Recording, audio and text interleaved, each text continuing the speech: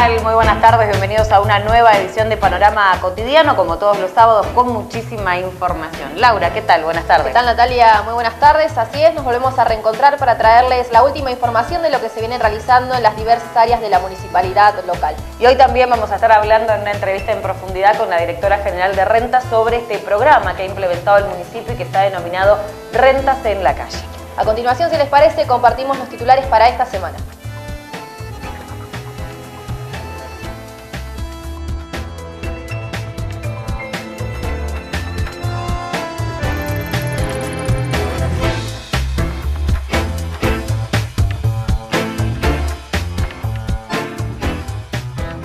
Convenio con IPF. El municipio firmó un convenio con la operadora para la refacción del Club Huergo. Lanzamiento de la Liga Infantil de Fútbol. El intendente encabezó el acto que dio comienzo a la actividad deportiva que reúne a más de 1.500 niños de la ciudad. Equipamiento para el área de tránsito. La Agencia Nacional de Seguridad Vial entregó cascos, folletería y alcoholímetros a la Dirección de Tránsito Municipal. Promeva para Barrio La Floresta. El municipio realizó un concurso público para la concreción de diversos proyectos enmarcados en el programa de mejoramiento barrial para ese sector de la ciudad.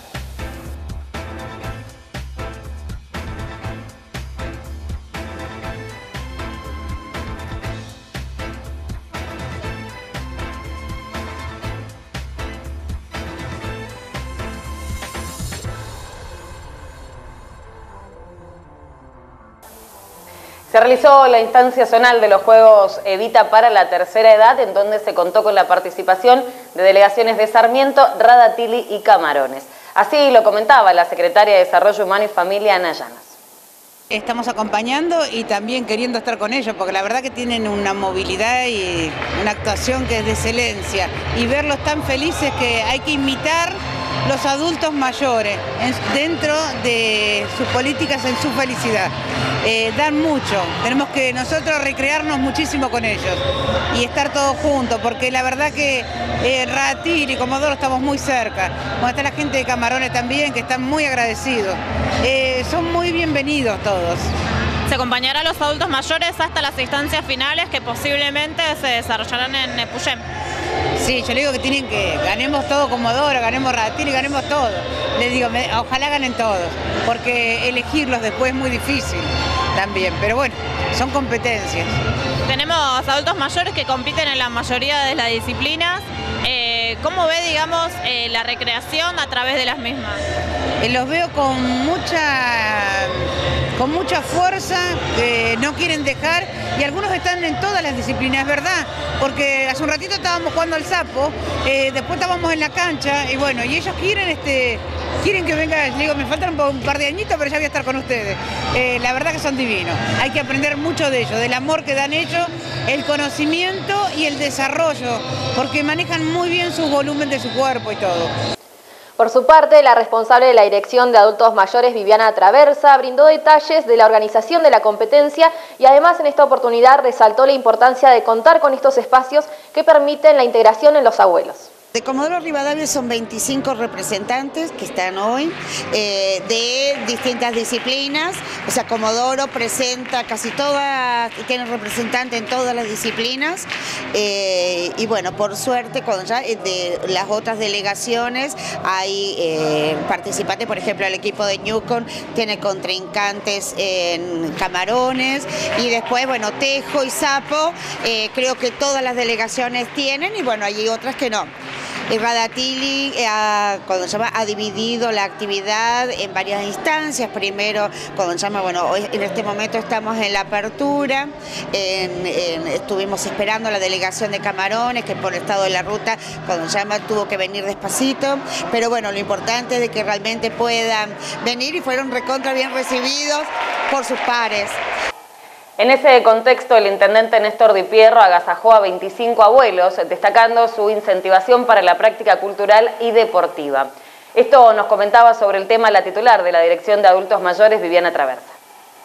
Cada vez los adultos mayores se acercan más al deporte, realizan más actividades deportivas y bueno, que es lo que generalmente desde la Secretaría de Desarrollo Humano se apunta eh, a que realmente la gente eh, pueda incorporar la actividad deportiva a partir de la salud. ¿Tuvieron más espacios deportivos los adultos mayores? Estuvieron pidiendo más espacios deportivos, pero bueno, es una necesidad de toda la ciudad. Ellos, bueno, ya participan de varios espacios, en el gimnasio número 2 desarrollan distintas actividades como Newcon, eh, tejo ah, y, tenis de mesa y bueno, van incorporándose en los espacios eh, que realmente les abren las puertas y por suerte en la ciudad hay bastantes. El secretario de Infraestructura, Abel Bollero, junto al subsecretario de Tierras, Alberto Parada, visitaron la Unión Vecinal del barrio Las Flores, oportunidad en la que se anunció la construcción de un muro de contención que será realizado con presupuesto municipal. Esta obra es una obra que se ha licitado hace un tiempo atrás por eh, obras públicas de, la provincia. Es una, es una obra que la última información que yo tengo me he reunido con la gente de la empresa que nos ha solicitado el espacio físico para instalar el obrador. El espacio físico que nos ha solicitado es ahí al, lado de, donde, está el muro de la construcción. Le hemos le hemos, eh, le hemos eh, otorgado el permiso para que pueda instalar el obrador, así que entiendo que ya eh, deberían estar iniciando con las tareas de construcción del obrador y por la información que tengo de parte de la empresa están terminando el proyecto ejecutivo a los efectos de poder iniciar la obra en los próximos 60-90 días. Esta es la información que tengo de parte de, tanto de la provincia como de la empresa. Di Pierro entregó equipamiento al área de tránsito municipal que fue donado por la Agencia Nacional de Seguridad Vial. El intendente comentaba que el destino que tendrán estos elementos será dar continuidad a las campañas de prevención vial. Agradecido a mi amigo, el ministro de Interior, el compañero Florencio Randazzo, a todo su equipo, a la gente de seguridad vial tanto de nación como de provincia, y por la entrega de este equipamiento, ¿no? Para nosotros es importante, los alcoholímetros son equipos que tienen mucho valor, también por la entrega del material didáctico que vamos a repartir eh, con nuestros agentes en las escuelas, para que los chicos que están a punto de hacer eh, su primer carnet sepan cuáles son las cosas que tienen que saber, las cosas que le van a pedir cuando vayan a rendir, y estos 300 cascos que sirven para eh, que los chicos que andan en moto, que sepan que el casco es prevención, que el casco salva vida y simplemente eh, agradecer el trabajo que está haciendo la Secretaría eh, de Tránsito, a todos los compañeros, trabajadores y nada, esto es parte del ordenamiento de la ciudad y también es parte de que creo que a veces algunos se enojan, ¿no? por los controles de alcoholemia, o, porque eh, los inspectores de tránsito a veces eh, le dan indicaciones eh, por cometer infracciones, ¿no? Pero esto es, lo tienen que tomar como que cada cosa que hacemos nosotros es para salvaguardar, para, como decía el subsecretario, nuestros chicos no se lastimen, que no tengamos que lamentar víctimas, que haya una conciencia real de lo que es la seguridad vial y el manejo, ¿no? Por su parte, el subsecretario de Control Operativo, Ricardo Murcia, manifestó su agradecimiento hacia la gestión municipal por el equipamiento recibido y en esta oportunidad destacó que el mismo va a permitir mejorar la calidad de los controles que se realizan a diario en nuestra ciudad. Eh, los insumos consisten básicamente en tres alcoholímetros que nos ha enviado la Agencia Nacional de Seguridad, 300 cascos, que esta es la segunda vez que nos traen cascos para hacer una campaña de concientización a los conductores de motovehículos, si aquellos que no lo tienen vamos a hacer entrega gratuita de los cascos y toda la bibliografía para aquellos conductores que vayan a sacar su licencia por única vez, sobre todo que ahora estamos implementando la licencia única.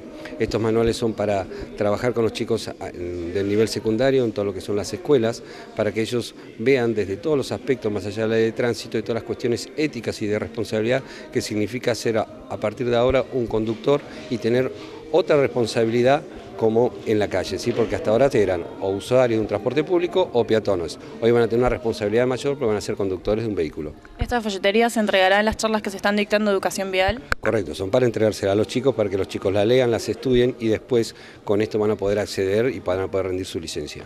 ¿Y la gente que quiere acceder a los cascos, qué tiene que hacer? La gente que tiene que acceder a los cascos, nosotros lo vamos a hacer entrega en la dirección de tránsito, tiene que traer el título que demuestre que tiene un motovehículo, el carnet de, conductor habilitante para moto sí, y fotocopia del DNI. Con eso nosotros hacemos entrega del, casco gratuitamente. ¿Se continúa realizando lo que es eh, no sé si campaña, pero que no se carga nafta a personas que no utilicen el casco? Bien, esa ordenanza sigue, lo que hay que ver si la gente de las estaciones de servicio la cumple. Es una, es una medida más junto con esto para poder evitar accidentes en lo que es eh, el tema de la conducción de motovehículos, porque es una medida de seguridad muy importante, como el uso de cinturón de seguridad a las personas que usan el vehículo. Se realizó la apertura del concurso público para la elaboración de proyectos ejecutivos enmarcados en el Promeva para Barrio La Floresta. Al respecto hablaba el secretario de Infraestructura, Obras y Servicios Públicos, Abel Bollera. Eh, las obras cuando, cuando se ven detrás de, la obra existe previamente ciertos pasos, entre ellos está el tema del proyecto, eh, realizar, confeccionar un proyecto. En el caso puntual de un Promeva, que es ejecutar una obra dentro de, zona ya eh, habitable, es mucho más difícil, más difícil fundamentalmente ligado a cuestiones de la topografía. La zona de la floresta es una zona muy complicada topográficamente y requiere un relevamiento, de hecho existe que es lo que se ha hecho en, esto, en este caso, para luego proyectar las necesidades que tienen el barrio, como sean muros, escaleras, cordón cuneta. Bueno, este trabajo es lo que se ha licitado ahora, es un, es un trabajo, digamos, de alta tecnología porque es realizado con la propuesta que están haciendo, en este caso es con un escáner que realiza un relevamiento con una sucesión de puntos que determina, es como si fuese que saca una foto pero en 3D, y entonces nos determina exactamente eh, los hechos existentes, las viviendas, los pasajes, hasta los árboles salen, salen dibujados, entonces esto permite, con, eh, con, esta, con, este, con este escaneado digamos de la realidad, permite luego realizar los proyectos de eh, cordones cunetas, como les decía, escaleras, muros de contención, canales, todas obras eh, muy necesarias para un barrio como el barrio de la Foresta, de la zona alta, y bueno, y esto va a estar enmarcado en lo que es un PROMEVA, que indudablemente es eh, programas de mejoramiento barrial, como se, como se refiere, eh, muy necesario para toda esta zona. Asimismo, la presidenta de la Unión Vecinal de la Floresta, Silvia Navarro, comentó detalles de las obras que se pretenden concretar en este sector. Nosotros creemos que esto va a ser un cambio rotundo que va a tener el barrio La Floresta si entramos dentro del Promeva, que es el primer paso hoy, tener eh, el proyecto de trabajo a, continuar, donde se va a mejorar desde la cancha de Oro Negro, toda la zona alta de la calle Los Álamos, Chaco, 12 de octubre, que todo el tiempo están pasando eh, muchas necesidades por, por no tener un desagüe como corresponde, el pasaje Burucuyá que no es reconocido porque no es existente para la municipalidad, después que casi 50 años que vienen los vecinos, recién ahora van a tener un pasaje reconocido donde se va a poder arreglar, donde se piensa en cordones, cunetas, escaleras, muros de contención, mensura, eh, la cancha esté en condiciones, un desagüe fluvial, así que está bastante importante, eh, bueno, nosotros muy contentos, yo eh, se nota el trabajo que estamos haciendo, así que, y bueno, y que las, las autoridades que, que pasan por nuestra ciudad no sabe, nos han sabido escuchar, así que muchísimas gracias a todo el equipo de obras públicas que está trabajando con nosotros y al señor Carvajal y a Marcela Rodríguez que ha puesto todo para que esto salga adelante. Se llevó a cabo el tercer encuentro de capacitación para dirigentes sociales y vecinalistas de Comodoro Rivadavia. Beatriz Escudero, quien estuvo a cargo de la capacitación, nos comentaba los temas abordados. En este primer, eh, la parte del módulo, eh, están desarrollando todo lo que es la conformación demográfica de específicamente de las ciudades en general, pero vamos a trabajar con los dirigentes vecinales eh, sobre mapas concretos de la ciudad de Comodoro Rivadavia y este, se van a hacer, se van a identificar distintas problemáticas. Eh, específicamente se va a trabajar sobre demografía, es decir, la conformación demográfica de Comodoro. Eh, sabemos que es una ciudad joven y que la población está entre los 14 y 35 años concentrada y que es un, tema central para abordar porque esto habla de, la proyectiva de la ciudad. Eh, y por otro lado, se va a trabajar todo lo que es el tema de infraestructura, eh, y algunas otras temáticas que los propios vecinos eh, traigan en el mismo taller que va a ser en la segunda parte. Ahora en este momento están exponiendo conceptualmente algunas cuestiones y luego se va a trabajar en taller. ¿Cuál va a ser el, próximo módulo a tratar? El módulo este continúa el sábado que viene. Este, se va a trabajar específicamente sobre herramientas para la intervención y la gestión urbana, eh, empoderando al, ciudadano, es decir, gestionando en forma conjunta eh, la ciudad. Eh, se van a presentar casos tipos, tanto de América Latina como este, los que se desarrollan en Argentina, algunas experiencias. Y este, también vamos a contar con la mm, presencia de la arquitecta Gabriela Sorda, que viene de la Facultad de Arquitectura de la Universidad de Buenos Aires eh, y que también va a, profundizar específicamente sobre el tema de asentamientos. ¿sí? Ese, ese es el núcleo temático que vamos a desarrollar. Del mismo modo, la presidenta de la Unión Vecinal del barrio Mariano Moreno, Esther Sosa, destacó la importancia de contar con estos espacios que permiten capacitar y formar a los dirigentes sociales y vecinalistas de la ciudad. Realmente hoy es la primera vez, digamos, que abrimos las puertas, digamos, de esta vecinal. Ya fue entregada, digamos, la segunda etapa, digamos, el lunes pasado.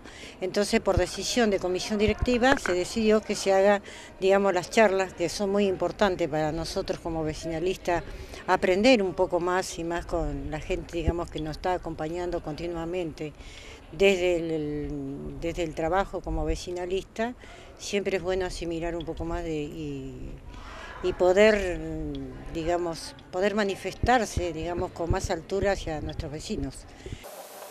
Diversos funcionarios municipales recorrieron el barrio Rodríguez Peñas. En esta oportunidad, el secretario de Infraestructura, Abel Bollero, anunció la concreción de diversas obras, como por ejemplo la pavimentación de distintas calles del barrio y además la reparación del pluvial.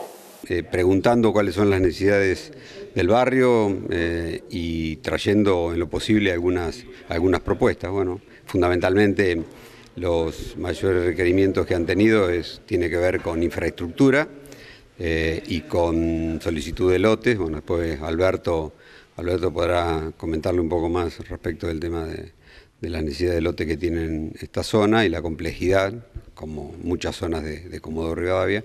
Y puntualmente en el tema de infraestructura, eh, hemos, hemos estado trabajando y el intendente ha solicitado expresamente que veamos eh, el presupuesto, hacerlo, hacerlo chicle y estirarlo lo más posible y tratar de dar soluciones a los distintos barrios. En este caso, eh, me pidió expresamente que vea para poder eh, traer algunas cuadras de pavimento, tanto para para la zona este como de la zona oeste. Así que intercambiando con, José Roberto cuáles eran las cuadras que nosotros teníamos eh, previstas. Son aproximadamente unos 5.000 metros cuadrados de pavimento eh, una parte, como le decía, en zona este y otra en zona este, y también eh, una solución a un, a un pluvial que, pasa por la zona, cerca de, que desemboca en el arroyo Belgrano, y son dos obras que eh, empezaremos este mismo año con una inversión de más de 5 millones de pesos. Se realizaron actividades enmarcadas en el Día Nacional de la Seguridad Vial. Al respecto hablaba el subsecretario de Control Operativo Ricardo Murcia, quien explicaba los alcances de las mismas. Estamos conmemorando el Día Nacional de la Seguridad Vial este, y lo está conmemorando trabajando con la gente de educación vial, este, como ustedes ven, armando la pista para los más chiquitos para que aprendan jugando, haciendo la distribución de los cascos que nos dio la Agencia Nacional el día viernes y la folletería para los más grandes para que a la hora de sacar el carnet tengan toda la información necesaria. Bueno, ¿dónde radica la importancia de que los chicos desde tan pequeños aprendan las normas de tránsito? Fundamentalmente, eh, uno cuando va educando a los chicos, y también creemos que los chicos son los primeros inspectores, porque le enseñamos toda la señalización horizontal, vertical, y ellos mismos le dicen al papá cuando están en el auto, al abuelo, no, te, no tenés el cinturón, estás hablando por celular, pasaste un semáforo en amarillo, ahí dice velocidad 40 y vas a 60.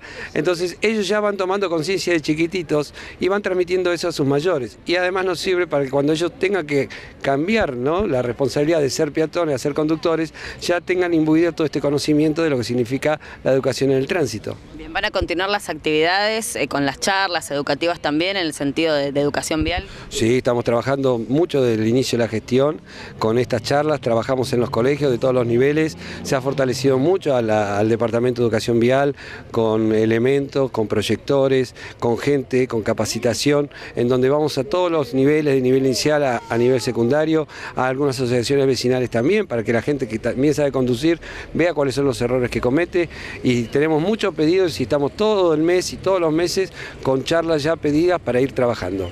El municipio, a través de la Secretaría de Infraestructura, se encuentra realizando un plan de bacheo en distintos puntos de la ciudad, el cual está en un 50% de avance. Esto nos decía sobre el tema el secretario de Infraestructura, Abel Bollero. Estamos avanzando en la, obra que se licitó el año pasado, eh, con una inversión de 36 millones de pesos, donde ya llevamos ejecutado el 50% del, programa.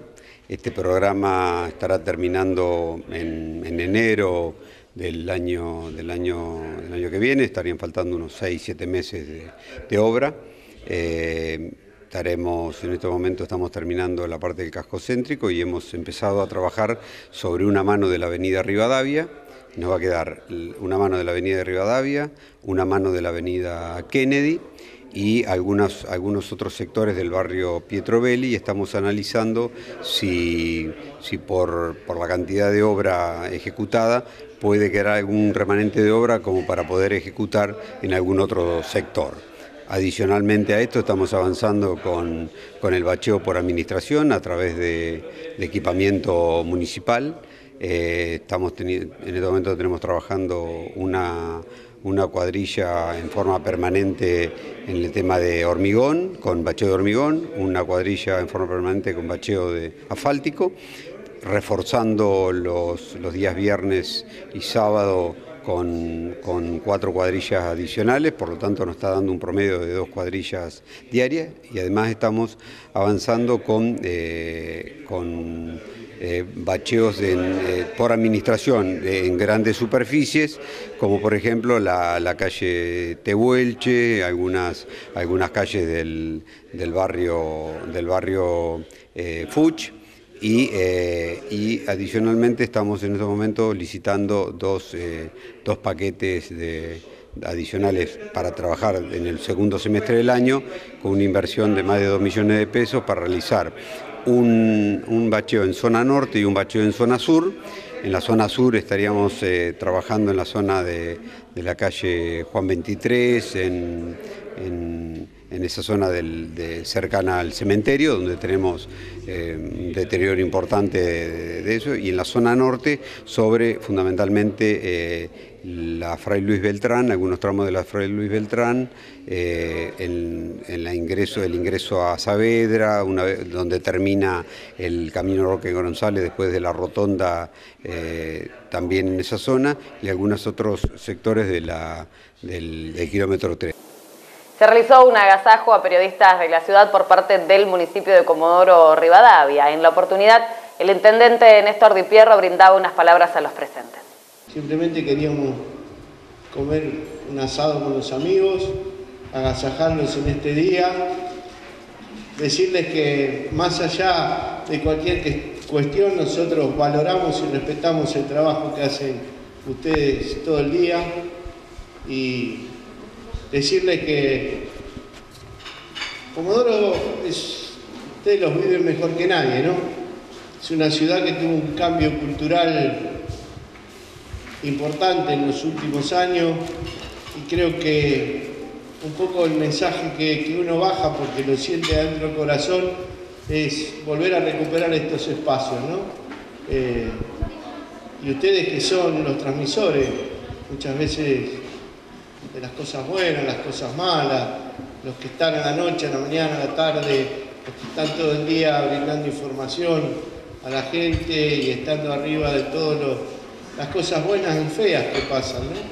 Eh, decirles que yo los vuelvo a convocar a todos, eh, desde mi humilde lugar, eh, a que trabajemos para recuperar la identidad de esta ciudad. Y esa es una tarea de todos. más allá de cómo pensemos, más allá de las diferencias políticas que podamos tener.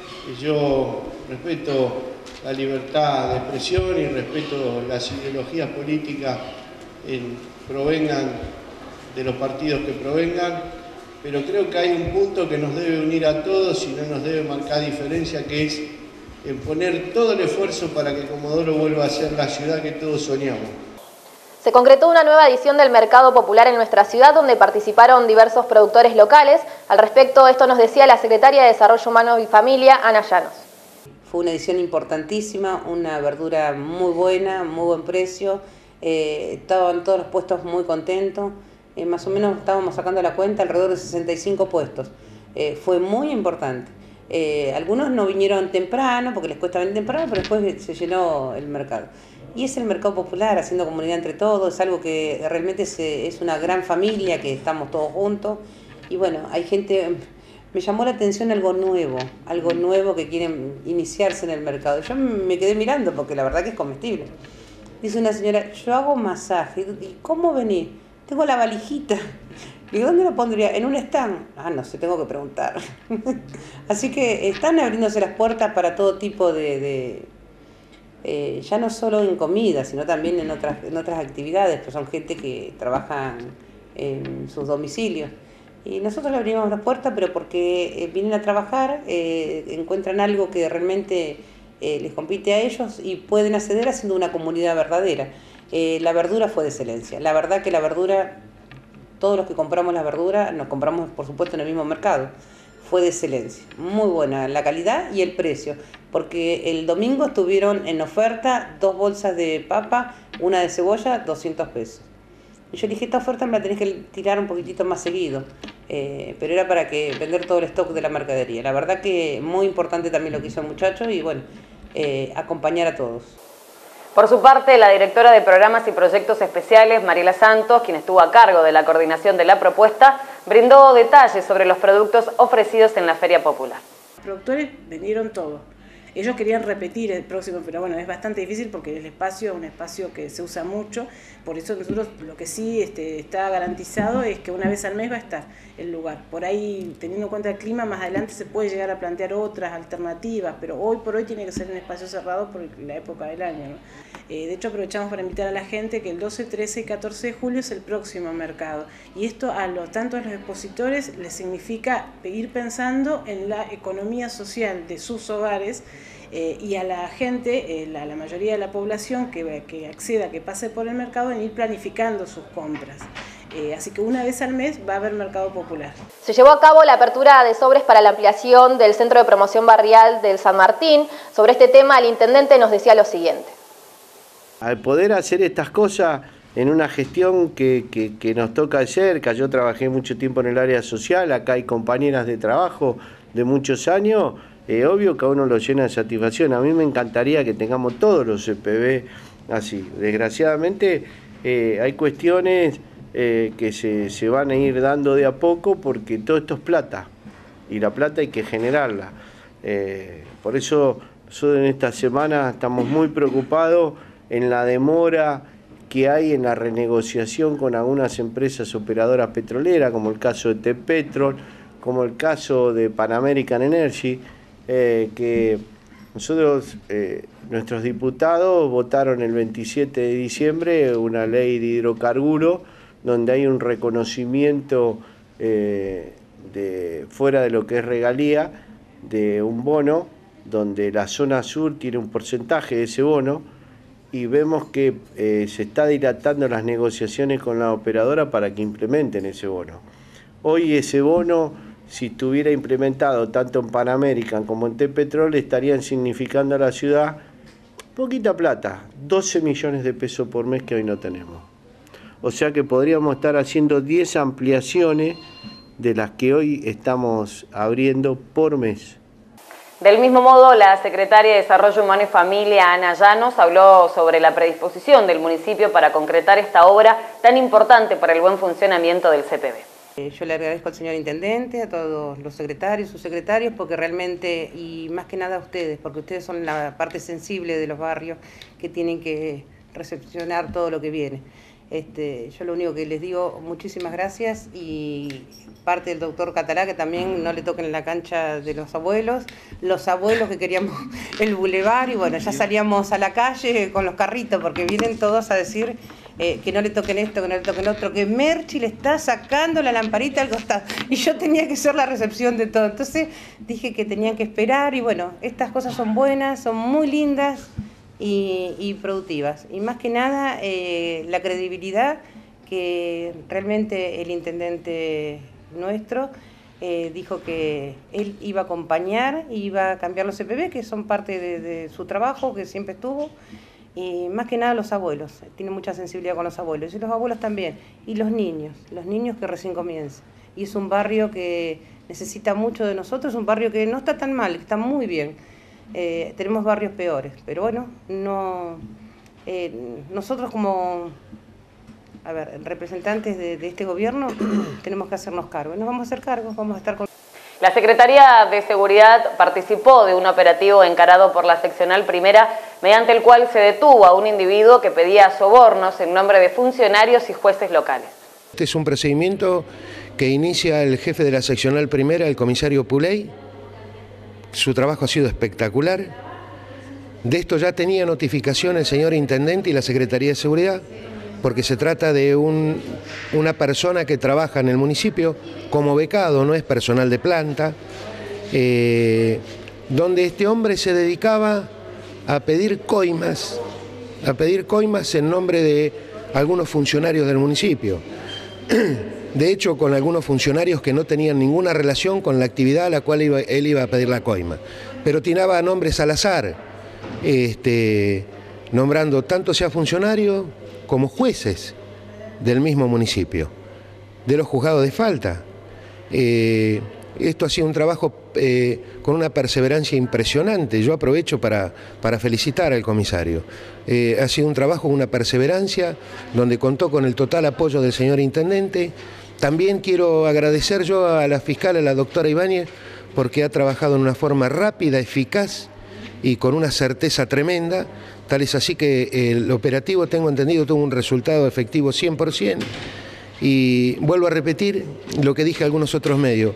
Es un sinvergüenza menos, es un sinvergüenza menos que podemos sacarlo de circulación, o que mejor dicho, puede sacarlo policía de circulación, que está nombrando a funcionarios para poder sacar coimas. El procedimiento en sí se trató sobre un trabajo que venía desarrollando la seccional primera a cargo del comisario inspector Puley, en virtud de una denuncia que se radicó en esta dependencia, eh, dando cuenta de que eh, una persona que se identificaría como integrante de la municipalidad de la ciudad eh, con el fin de habilitar eh, eh, en ese lugar un VIP, cuestión que en ese lugar anteriormente se había hecho un, procedimiento de, de, VIP y estaba clausurado, sea, estaba cerrado en sí, ofrecía habilitarlo con un permiso provisorio conforme mencionaba el denunciante. Así que bueno, se, se radicó esa denuncia, se dio intervención a la doctora Ibáñez,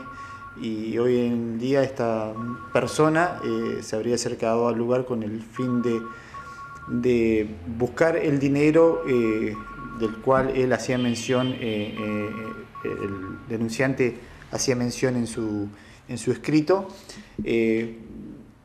logrando con eso que él podría empezar a trabajar nuevamente con el, el VIP en el lugar. ¿Cuándo recepcionan esta denuncia? Hoy en horas de la mañana. perdón, el día de ayer. El día de ayer. ¿Podemos dar a conocer el nombre del implicado? Eh, es un empleado de la municipalidad de hace seis años que estaría trabajando en el lugar. Eh, hoy en día estaría eh, en lo que es el albergue municipal. anteriormente, hace un año y pico, trabajó en lo que es habilitaciones de la municipalidad, de apellido Iriarte, 34 años de edad.